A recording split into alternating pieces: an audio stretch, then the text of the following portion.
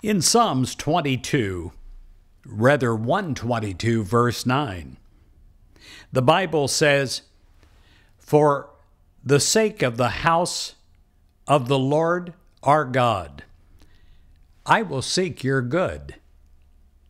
Every day, in every way, I pray that you are discovering more of God's good. Remember the through the old song that encourages us to look for a silver lining on a cloudy day. I can't remember the name of it, but I I can hum the tune.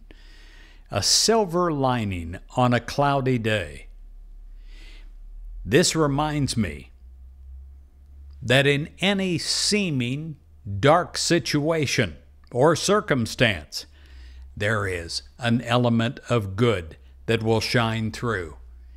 And if we have eyes that we share with God, we'll find that good. It won't be invisible to us any longer. We'll recognize blessings if we look for the light that is the inherent goodness, rather than focus on the inherent darkness.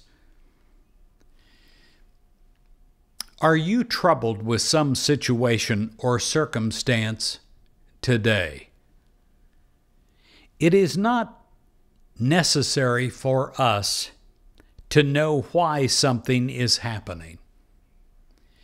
As a child of God, you trust God to do the good works, and you look for and you accept the good of God.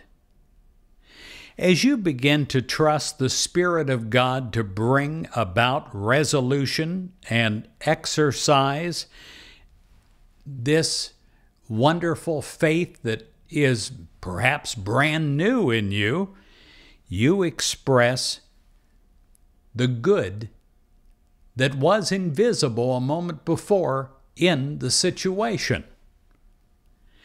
You will be fortified with faith and you'll be fortified with courage.